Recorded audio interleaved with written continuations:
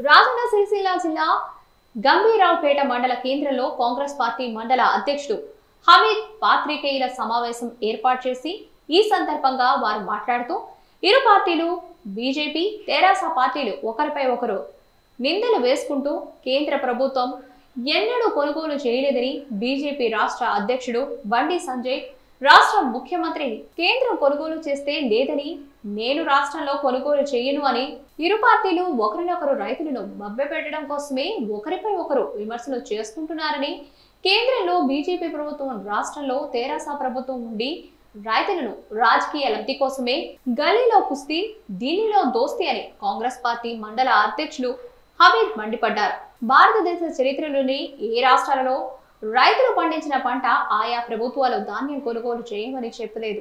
కానీ కేంద్ర రాష్ట్ర ప్రభుత్వాలు రైతుల కోసం ధాన్యం కొనుగోలు చేయలేని బీజేపీ నాయకులు కలెక్టరేట్ కార్యాలయం ముందు ధర్నా ముట్టడి అలాగే తెరాస నాయకులు రాష్ట్రంలో పండించిన పంట కేంద్రం కొనుగోలు చేయలేని ధర్నా చేస్తామంటూ ఇరు పార్టీలు ప్రజలను రైతులను తప్పుదోవ పట్టడానికి కేంద్ర రాష్ట్ర ప్రభుత్వాల నాయకులు నాటకాలు ఆడుతున్నారని అన్నారు.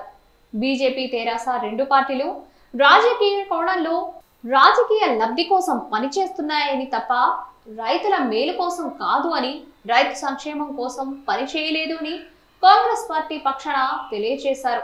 ఇప్పటికైనా కేంద్ర ప్రభుత్వం కేంద్ర రాష్ట్ర ప్రభుత్వాలు ఫుడ్ కార్పొరేషన్ ద్వారా చర్చలు జరిపి రైతులు పండించిన పంట ప్రతి ధాన్యం గింజ కొనుగోలు చేయాలని యాసంగిలో వరిధాన్యంను కేరళ రాష్ట్ర ప్రభుత్వాలు కొనుగోలు చేయాలని డిమాండ్ చేశారు. ఈ కార్యక్రమంలో కాంగ్రెస్ పార్టీ మండల అధ్యక్షులు హమీద్ రాజు కొత్తపల్లి కాంగ్రెస్ నాయకులు ఎలుక రాజు కాంగ్రెస్ కార్యకర్తలు తదితరులు ఉన్నారు. ఈరోజు కేంద్ర రాష్ట్ర ప్రభుత్వాలు తీసుకొచ్చాయి.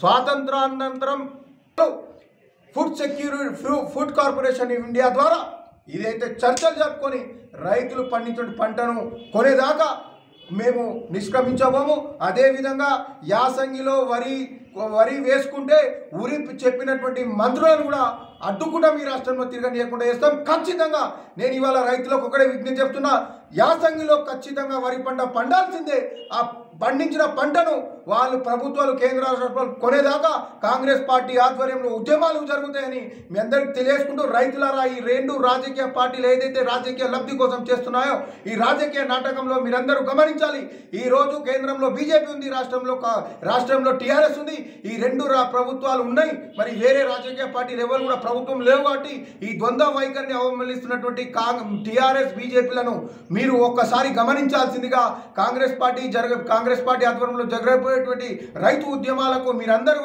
అండగా ఉండాలని మీ అందరికీ విజ్ఞప్తి చేస్తూ ఈ ఈ కార్యక్రమంలో పాల్పంచుకున్నటువంటి వాళ్ళందరికీ కూడా హృదయపూర్వక ధన్యవాదాలు తెలుసుకుంటూ ముగిస్తున్నాను. జై కాంగ్రెస్.